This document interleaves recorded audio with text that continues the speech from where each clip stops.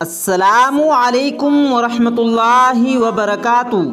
عزیز دوستو، آج کی اس ویڈیو میں ہم بات کرنے والے ہیں نبی کریم حضور صلی اللہ علیہ وسلم نے ارشاد فرمایا، رمضان میں یہ دو غلطیاں بھول کر بھی نہیں کرنا، ورنہ آپ برباد ہو جائیں گے۔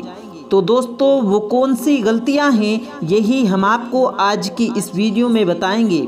ویڈیو شروع کرنے سے پہلے اگر آپ ہمارے یوٹیوب چینل پر نئے آئے ہیں تو ہمارے یوٹیوب چینل کو سبسکرائب کر کے بیل آئیکن ضرور دبا دیں تو چلیے ویڈیو شروع کرتے ہیں۔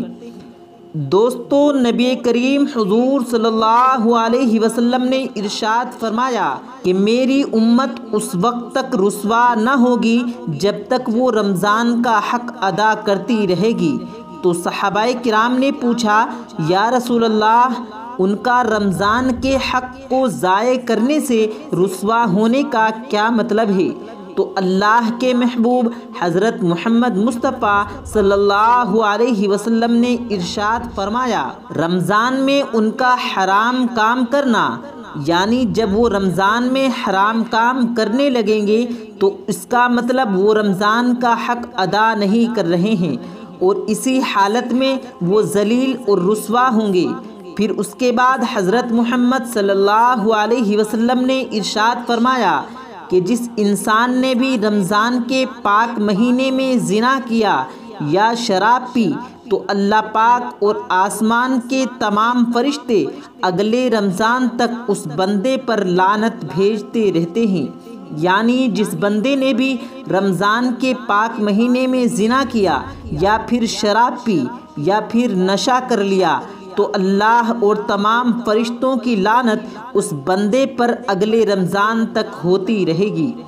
پیارے دوستو، سوچنے کی بات ہے کہ جب اللہ پاک اور آسمان کے تمام فرشتوں کی لانت کسی انسان پر ایک سال تک ہوتی رہے گی یعنی اس رمضان سے اگلے رمضان تک ہوتی رہے گی، تو اس کے ساتھ کیا ہوگا؟ پھر اس سے آگے پیارے نبی صلی اللہ علیہ وسلم نے فرمایا کہ اگر وہ شخص آنے والے رمضان سے پہلے انتقال کر گیا، تو اس کے پاس کوئی بھی ایسی نیکی موجود نہیں ہوگی جو اسے جہنم سے بچا سکے۔ اس کے بعد پیارے نبی صلی اللہ علیہ وسلم نے ارشاد فرمایا تم لوگ رمضان سے ڈرو، کیونکہ جس طرح اس مہینے میں ہر نیکی کا ثواب دو گناہ، تین گناہ بڑھ کر ملتا ہے، اسی طرح رمضان میں ہر گناہ کا عذاب بھی دو گناہ، تین گناہ بڑھا دیا جاتا ہے۔ اور اس پاک مہینے میں کیے گئے گناہ کی سزا بھی سخت رکھی جاتی ہے۔ تو دوستو، اللہ کے عذاب سے ڈرو، گناہوں سے بچو، رمضان کے مہینے میں بھی بچو اور سارا سال گناہوں سے دور رہو۔ دوستو، اب ہم آپ کو بتاتے ہیں کہ حضرت علی رضی اللہ تعالیٰ عنہ نے فرمایا، چار کام کر لو، اگر مٹی میں بھی ہاتھ ڈالو گے تو سونا بن جائے گی۔ تو دوستو، وہ چار کام کون سے ہیں؟ آئیے ہم آپ کو بتاتے ہیں۔ پہلا کام صدقہ خیرات۔ جو آدمی صدقہ خیرات کرتا ہے تو کامیابی اس کا مقدر بن جاتی ہے۔ دوستوں، غریبوں کی مدد کرنا، کسی بھوکے کو کھانا کھلانا، اپنے مال کے حصے سے کسی مستحق کی مدد کرنا، یہ ایک ایسا عمل ہے جس کے کرنے سے انشاءاللہ ہر انسان کو ہر کام میں کامیابی ملتی ہے۔ دوسرا کام ماں باپ کی فرما برداری کرنے سے، ماں باپ کی دعائیں لینے سے، والدین کی خدمت کرنے سے اگر آپ مٹی میں بھی ہاتھ ڈالو گے تو وہ بھی سونا بن جائے گی۔ ہر کام میں آپ کو کامیابی ملے گی یعنی جو بھی آپ کا کام ہوگا وہ بن جائے گا۔ جہاں پر آپ کا کام نہیں بنتا ہوگا، وہاں پر بھی آپ کا کام بن جائے گا۔ دوستو، ماں باپ کی دعا اولاد کے لیے کبھی رد نہیں ہوتی۔ اور تیسرا کام، استغفار کرنے سے، اپنے گناہوں کی توبہ کرنے سے۔ جو آدمی استغفار کرتا ہے، تو کامیابی اس کا مقدر بن جاتی ہے۔ دوستو، اللہ پاک سے ہر وقت اپنے گناہوں کی معافی مانگتے رہنا چاہیے۔ بے شک، اللہ معاف کرنے والا ہے۔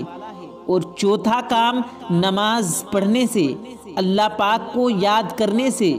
جو آدمی پانچ وقتہ نماز پڑھتا ہے، تو کامیابی اس کا مقدر بن جاتی ہے۔ دوستو، نماز پیارے آقا حضرت محمد مصطفیٰ صلی اللہ علیہ وسلم کی آنکھوں کی ٹھنڈک ہے۔ نماز کی برکت سے ہر کام آسان ہو جاتا ہے۔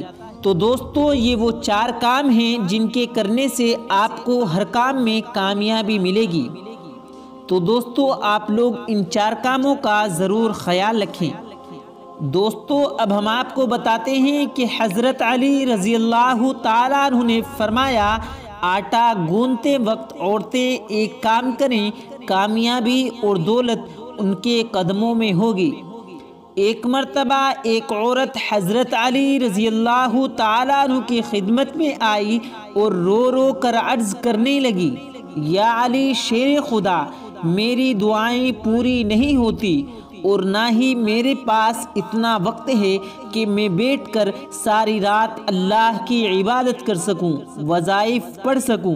کوئی آسان سا عمل مجھے بتائیں جو میں کروں اور میری دعائیں پوری ہو جائیں۔ تو حضرت امام علی نے فرمایا، اے عورت، تم جو بھی کام کیا کرو، وہ سچائی کے ساتھ کیا کرو۔ جب بھی کسی سے گفتگو کیا کرو، بات چیت کیا کرو، محبت اور احترام کے ساتھ کیا کرو، تمہارا یہ عمل بھی عظیم عبادت ہے۔ اور اس کے ساتھ ساتھ جب بھی تم روٹی بناؤ، تو ایک مرتبہ یہ کہا کرو کہ اے اللہ تو نے اس حقیر بندے کو یاد کیا، رزق دیا اور رزق کو پکانے کی طاقت عطا کی۔ اے اللہ، اپنے محبوب حضرت محمد مصطفیٰ صلی اللہ علیہ وسلم کے صدقے، میری دعائیں بھی قبول فرما۔ اے عورت، یاد رکھنا، جب اللہ کا رزق انسان اپنے لیے یا اپنے گھر والوں کے لیے بناتا ہے اور اس وقت اللہ رب العزت سے دعائیں مانگتا ہے، تو اللہ وہ دعا کبھی بھی رد نہیں کرتا۔ دوستو، اب ہم آپ کو بتاتے ہیں کہ نبی کریم حضور صلی اللہ علیہ وسلم نے فرمایا، ان سات لوگوں سے اللہ پاک سخت ناراض اور غصہ ہوتے ہیں۔ یعنی جن لوگوں کے اندر یہ سات نشانیاں ہوتی ہیں، اللہ پاک ان سے کبھی بھی خوش اور راضی نہیں ہوتے۔ تو وہ سات لوگ کون کون سے ہیں؟ آئیے ہم آپ کو بتاتے ہیں۔ نمبر ایک، پیارے نبی حضور صلی اللہ علیہ وسلم نے فرمایا، اپنی اولاد کو برا کہنے والا اور اپنی اولاد کو گالیاں دینے والا۔ کیونکہ پیارے نبی صلی اللہ علیہ وسلم کا ارشاد ہے کہ جو شخص اپنی اولاد کو گالی دیتا ہے، ان کو برا بھلا کہتا ہے اور ان کو ستاتا رہتا ہے۔ اور خاص طور سے وہ انسان جو اپنی بیٹی کو گالی دیتا ہے۔ اللہ پاک ایسے انسان سے بہت ناراض ہوتے ہیں۔ نمبر دو، دل میں بغض رکھنے والا یعنی کسی کی طرف سے دشمنی رکھنے والا۔ دوستو، کبھی بھی کسی انسان کے لیے دل میں بغض رکھنا نہیں چاہیے، بلکہ ہر انسان کے لیے اپنے دل میں پیار اور محبت رکھنا چاہیے۔ کسی کے بارے میں برا نہیں سوچنا چاہیے۔ اگر آپ ایسا کرو گے تو اللہ پاک بھی آپ کے لیے اچھا کریں گے اور آپ کا مستقبل بھی اچھا بنے گا۔ اور نمبر تین، مہمان سے ناخوش ہونے والا۔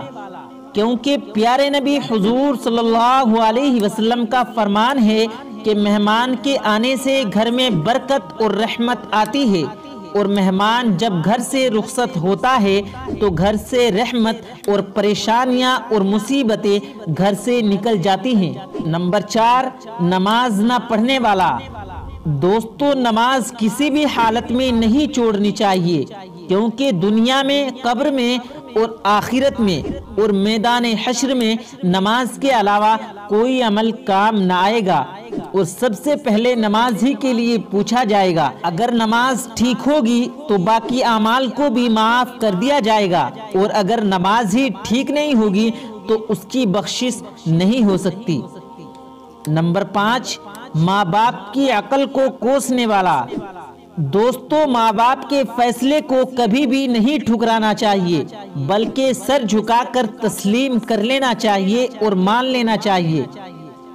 نمبر چھ، دعا نہ مانگنے والا۔ دوستو، پیارے نبی حضور صلی اللہ علیہ وسلم نے ارشاد فرمایا کہ بدقسمت ہے وہ انسان جو اپنی ضروریت اور حاجت کو اللہ کے سامنے نہ رکھے، کیونکہ اللہ کے علاوہ کوئی سننے والا نہیں ہے۔ اور نمبر سات، کھڑے ہو کر پانی پینے والا۔ دوستو، جو انسان کھڑے ہو کر پانی پیتا ہے، تو اللہ پاک ایسے انسان سے سخت ناراض ہوتے ہیں اور ناخوش ہوتے ہیں۔ لہٰذا، کھڑے ہو کر کبھی بھی پانی نہیں پینا چاہیے، بلکہ اس سے